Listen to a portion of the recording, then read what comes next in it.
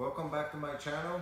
Today we're gonna talk about shin stapling opponent's leg to uh, pass his guard. One of the coolest way to pass our opponent's guard. Also very, very effective because uh, you redirect the initial pass. So let's start with uh, shin stapling, how we're gonna get there, and then we're gonna see our options uh, from that position. So I like to start my shin stapling from initial knee slide position. So I'm gonna try to knee slide through my opponent's guard and obviously he'll put all sorts of frames here, right? He, he, he's gonna put, yeah, his arms up, framing my upper body, also his uh, shin is usually here uh, in front of my hips, stopping me from uh, sliding through, right? And most of the time he will raise this one up, putting like a hook on my thigh. So in general, my opponent is expecting me to, uh, to knee slide and he knows how to work against that. So whenever I get to that position, I feel like I can't break through, I can't slide through. What I'm gonna do is I'm gonna control this arm here. So I can control like a uh, sleeve here, pull it up a little bit, or I may fight with that frame, circle my hand in, post it on the ground, right? Or sometimes it, it, it won't be necessary because he will be pushing back so hard that you don't feel like this hand will, uh, will stop you from uh, going all the way to that side. So after dealing with this hand, let's say I'm gonna, I'm gonna uh, pin it to the ground. I'm gonna open my knee to my opponent's far hip, like so. And I wanna slide all the way to the other side. So I'm sliding through and now my shin is stapling his thigh to the ground. So my knee here is connected with the ground and I have a hook behind his thigh. Now whenever I get to that point, I don't want to stay like this, super low, because obviously here when I stay low, my hips are heavy, my legs are heavy, so I'm not very mobile here. What I want to do is, I want to lean forward with my upper body. So I can go like this with my both hands on the ground above his shoulder line, or if I'm afraid that for some reason my opponent gonna gonna escape, gonna uh, gonna run away from the position, maybe like push me push me away and scoot out. I can also grab a grip on the collar, pin his chest down, and the other one I'm gonna post on the ground.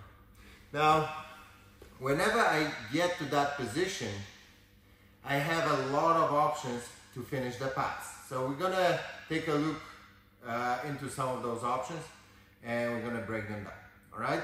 So, first of all, whenever, whenever I'm here, I can always go back and knee slide pass. So, being here, I can start working to get the underhook here. So what I'm gonna do is I'm gonna move my hand here from above his shoulder underneath his armpit. And now I'm gonna raise my hips up and I'm gonna go all the way to the other side. My shin hits the leg and in a dynamic fashion, I wanna pull his arm up and slide through.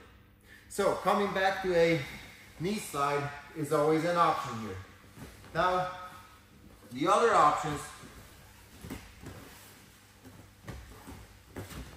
so it's gonna be more visible from that angle. So the other options are passing to this side, towards uh, stapled leg. So, I get here. Now first, what I'm, what I'm gonna do, what I'm, what, I, what I'm gonna try to do is, I'm gonna try to fold his leg with my hip. So whenever my opponent makes a mistake and he goes with his knee a little bit too close to my to the center line of my body towards my chest, then I can use my hip to fold his legs together. And now I'm going to be able to pull them up, step over, and start going to the side.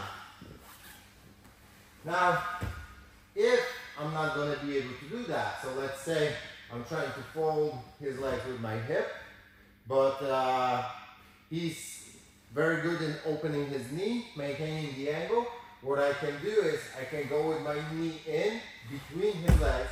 So I'm sliding my knee through and I'm posting my kneecap on the ground. Now from that point, I wanna control his upper body really tight. So I'm gonna grab chest to chest control and now I'm sliding my leg through. My leg is not in dangerous anymore so I can put my foot in between his legs. I'm gonna open my knee and my kneecap goes all the way towards his knee. So this leg gets stretched. If it's stretched, he can't generate much power to uh, bump me, to, to bridge, to maybe shrimp, right? And from that point, I'm just gonna put my legs together, step over the hip, and I'm ending up in a mount position. So that's gonna be my second option. Third option, whenever I'm here and I can't really get with that knee underneath because my opponent is constantly blocking, his, his leg setup is really good, what I can do is I can make some space here so I'm lifting my hips up a little bit more and I'm pummeling my leg on top. Now, when my leg is on top of his leg, I don't want it to be loose. If it's loose, there's no control. So I need to pinch my knee to his thigh here and my hook becomes really tight. Now from that point, if it's tight, I can use that leg to kick his leg back. Now the knee is not in front of my hips anymore, so I can drop down and then I can slide all the way to a mount position.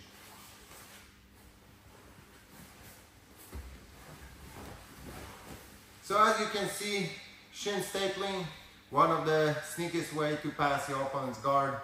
Uh, give it a try, hit the subscribe button and see you soon.